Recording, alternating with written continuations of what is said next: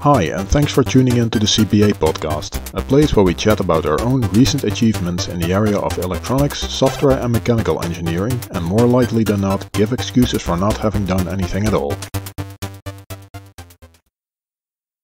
Hello, and welcome back to another episode. I know it's been a long while since the last episode aired, and uh, the reason of that is basically that I've been busy with actual work and other stuff. But um, and also I didn't have that much. Uh, I didn't do that much, so could have made a boring episode about stuff that I didn't do. But uh, instead, I'm gonna make a short episode now about the stuff that I did do.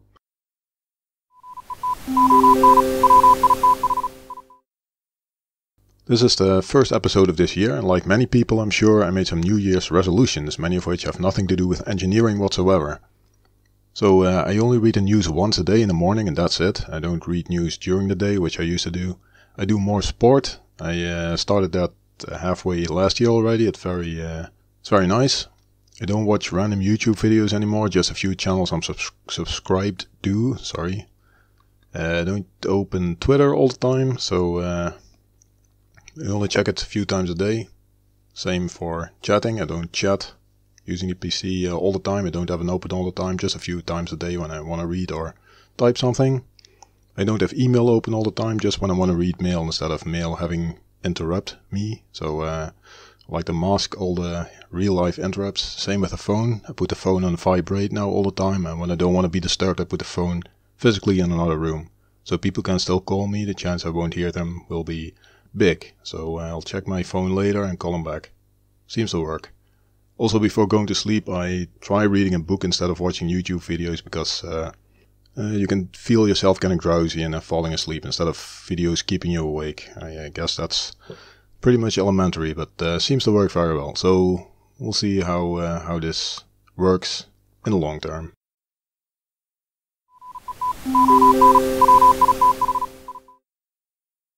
So, getting a bit more into techie stuff, um, I talked about VGA generator boards last time, and I assembled two, no, ten more boards.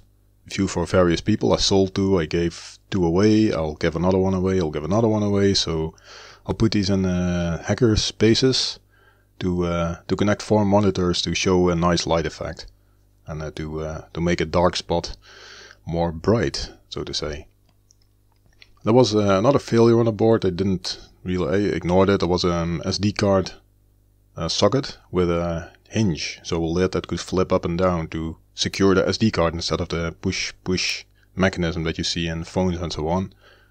And uh, of course, you have to take care that when you flip the lid up, it doesn't short resistors and stuff sitting on the PCB where the lid lands. So that was the case on my uh, my PCB. I should have put a big plastic component there to stop the lid, but whatever. I put an enclosure onto the PCBs to uh, onto the PCB to stop the lid, so that uh, that works out nice. I'll include a picture in the show notes because it looks uh, quite pretty. And to call this an enclosure is probably too much praise. It's two small sheets of transparent acrylic sitting on top and below the PCB, and uh, the top one is to, well, have a few holes for push button and also to stop the SD card hinge from the lid from uh, flipping on top of components and shorting them. And uh, the acrylic sheet on the bottom of the PCB is to prevent the few through-hole components, so there are some big connectors on there, from uh, hooking behind your clothes and scratching your hand when you uh, when you move the PCB. So the pins stick out, let's say two millimeters, typically two and a half millimeters, something like that, and the acrylic sheet is three millimeter thick. So whenever there's a pin sticking through the PCB, there's a corresponding aperture aperture hole in the acrylic sheet sitting around that pin. So uh, basically, you can move your hand over the bottom part of the of the device, so the PCB with uh, acrylic sheet below it, and uh, you won't be scratched. So that seems to work quite nice. I'll include a picture of that, so it's a nice idea maybe.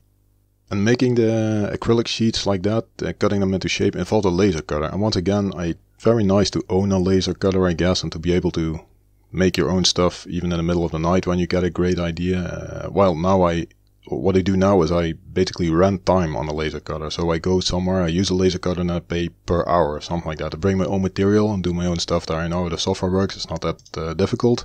But anytime I'm uh, considering buying my own machine, but of course, the longer you wait with it, the more ridiculous it becomes because I should have bought one right at the start, of course. So uh, it's probably uh, it probably will be the same story in ten years, and I probably st- will still be using someone else's machine. So uh, we'll see.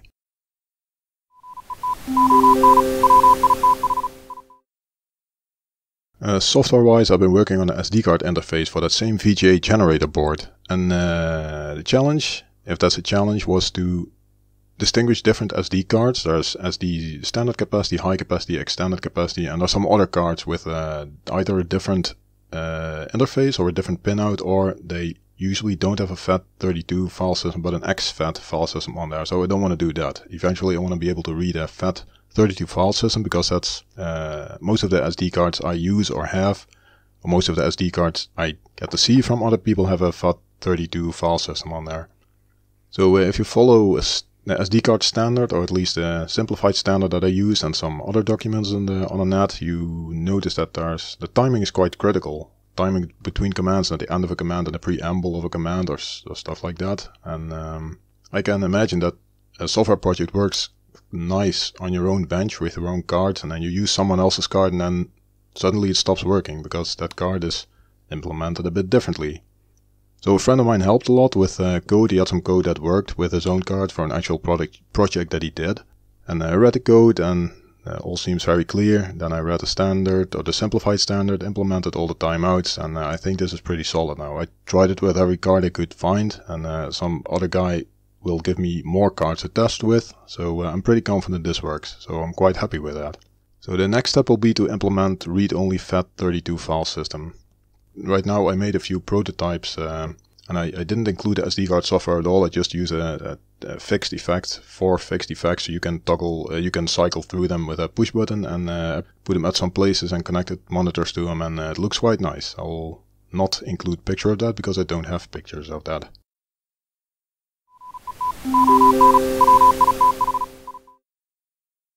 Uh, some other semi-social stuff that I did yesterday was the HCC programming division meetup. I think they have a meetup every month, the third Saturday of the month. Is that right? Yeah. So last time was the, the, the most recent one was Saturday. It's Sunday now, and I went there and did a little talk about my CPU project.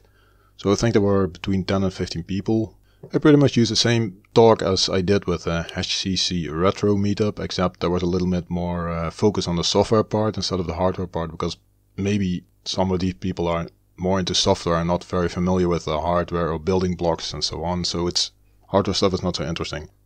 I think uh, every meeting they start with um, free form meetings. Everyone can show everything and talk about their projects and uh, collaborate and, and debug stuff and uh, work on their projects and whatever.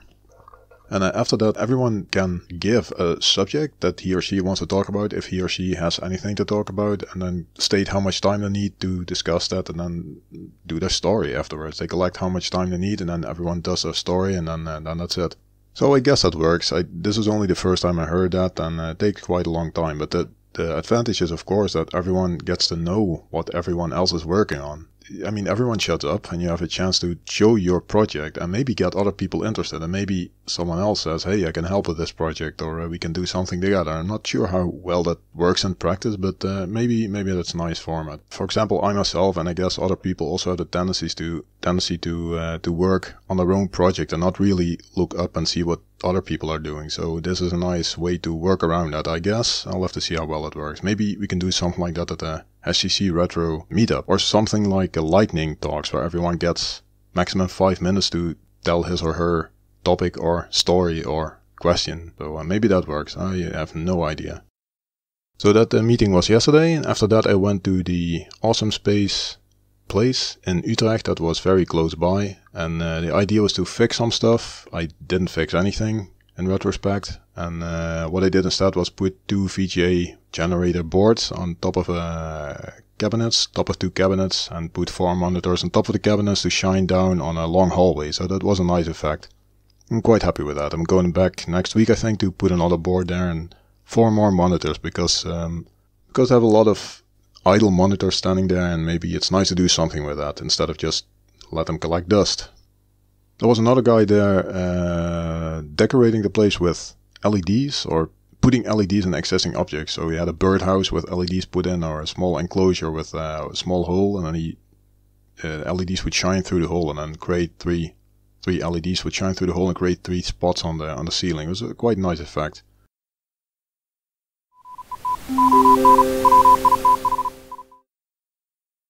So uh, upcoming stuff, there's not too much. I think in March there's also the HCC Retro meetup in Bilthoven in the Netherlands.